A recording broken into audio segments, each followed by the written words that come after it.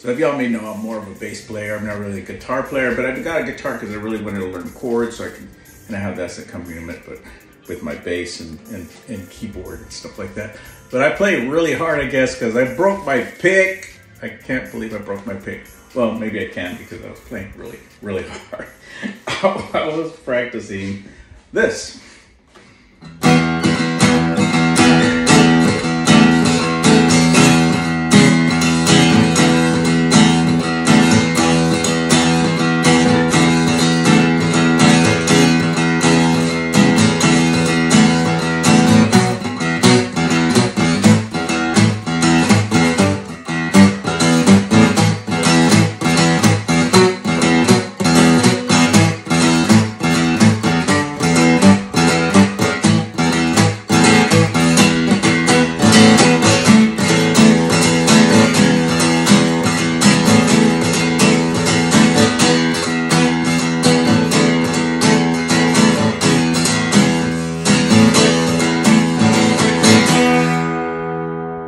I know my timing sucks, but um, yeah, that explains why I broke my pick.